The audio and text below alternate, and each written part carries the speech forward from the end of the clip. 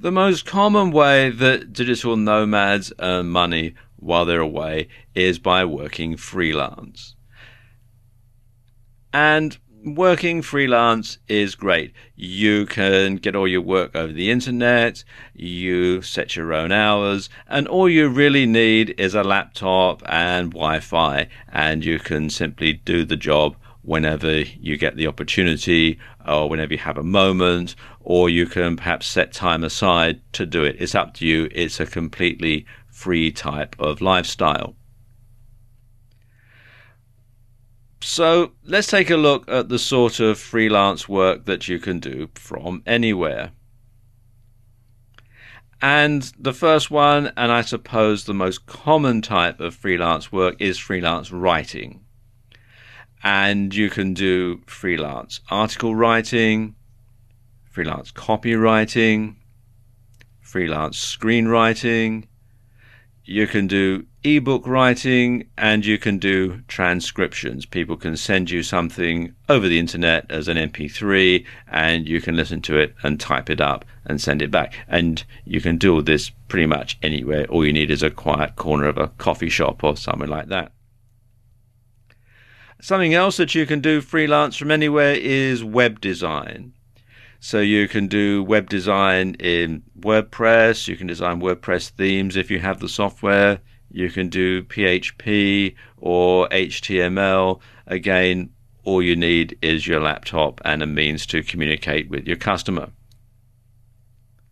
Then you can do coding, and you know, lots of people do coding you can do website coding, you can do apps, you can do software development, and this is actually one of the most common things that people can do because it's all done uh, on your computer and you can simply send it over the internet to your customer.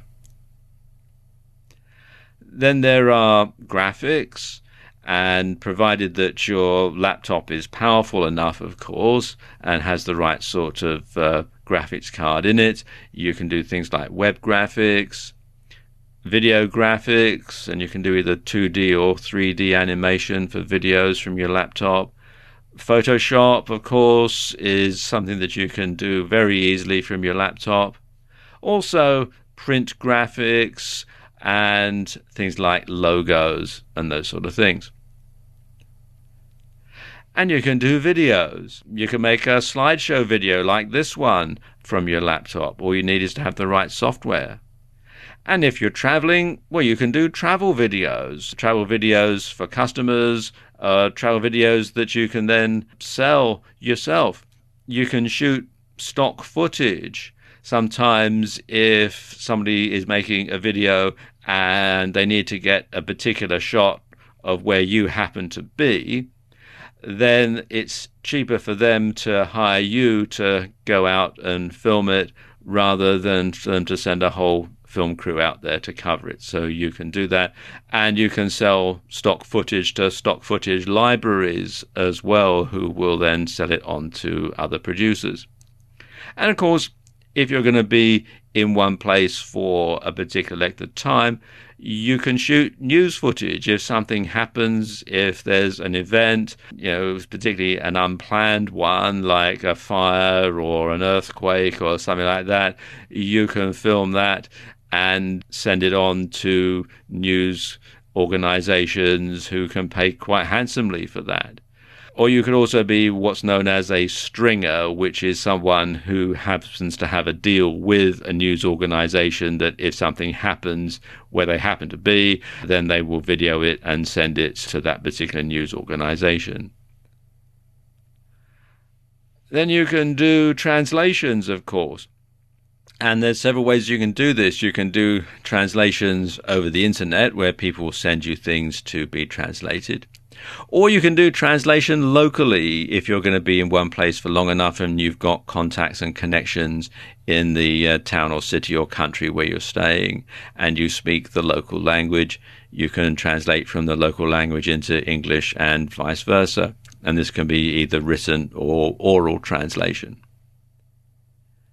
Now, there are a few different sites where you can look for freelance work. And the first one is Upwork, which you can find here at upwork.com. And it explains how it works here when you click on this link.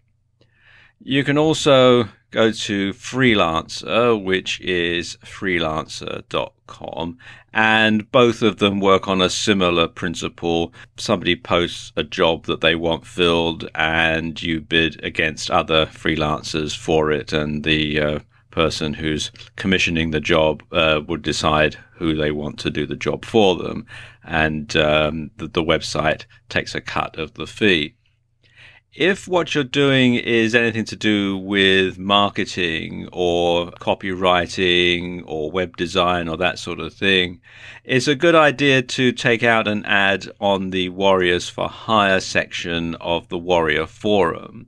As you can see, they've got lots of people here advertising things like marketing and professional copywriting and that sort of thing.